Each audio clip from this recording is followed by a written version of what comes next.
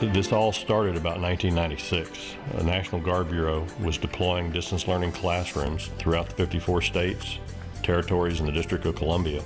And Oklahoma was uh, fortunate enough to get one of the first ones. Up to this point, we have 134 VTC systems throughout the state, and we're doing between 1,000 and 1,100 hours of video a month.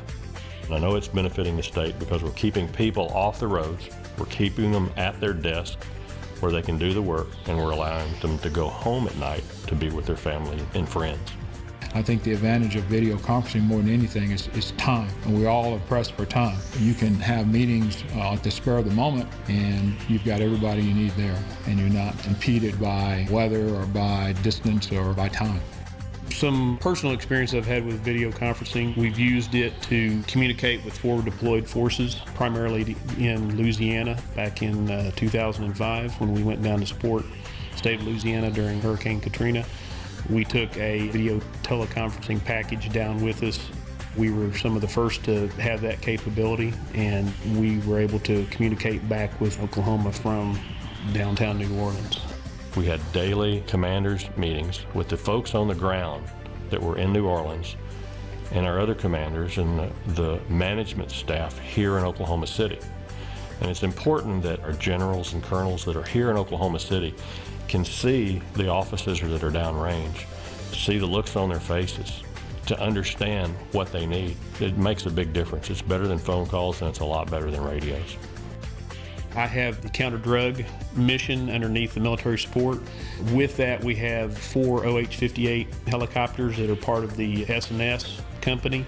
We've been able to take the image from that helicopter, go through the video downlink into a laptop with a wireless card, and then we were able to go through an IP address and come back into the facility here over the teleconference.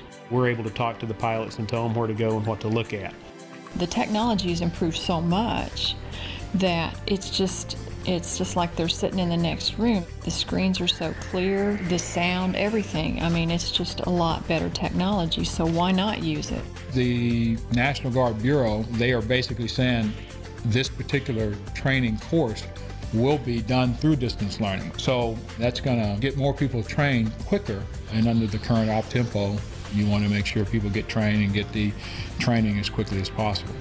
In the past, everybody comes in from the state four or five times a year. You've got 200 people that are our regional training institute. It's an all-day nightmare, and then they go home late that night. This way, we do the training one time, and then when we have new people come in or they have refresher training, they go to the visual communication server or they go to the podcast server and download it, put it on their media device, and they're able to watch it at their leisure. In order to do the training, uh, you know, we use a lot of PowerPoint slides. And in the past, the technology, you know, the screens weren't very clear. You couldn't even read the slides. So you always had to email the slides ahead of time, and people had to print them off, and it kind of defeats the whole purpose. And so you, you get clear screens, gets the high definition. It's, it's going to be much better for us. We want to make people's jobs as easy as we can. We want to keep them off the road. We want to keep them home with their family. And when they are deployed, we want them to be able to see the kids and mom or the kids and dad. Those are the big things. Those are the things that make the difference. And the only thing that is going to allow us to do that is video teleconferencing, high definition video teleconferencing.